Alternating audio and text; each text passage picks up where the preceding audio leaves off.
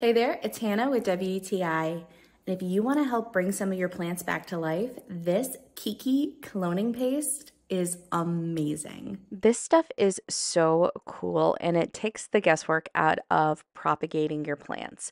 This has these amazing hormones in it that really just coax your plant to create more life, to reproduce, or to, in my case, maybe come back from the dead.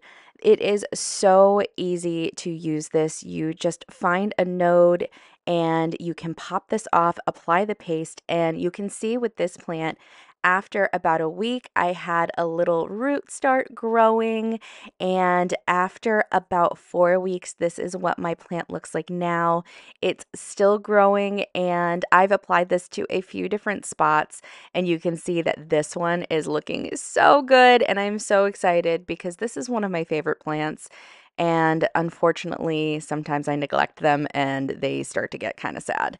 But if you want to start propagating, this Keiki paste is so easy to use and you are going to love it. So, whether you want to revive some of your plants or just make more out of the ones you already have, this Keiki paste is amazing and you should definitely try it.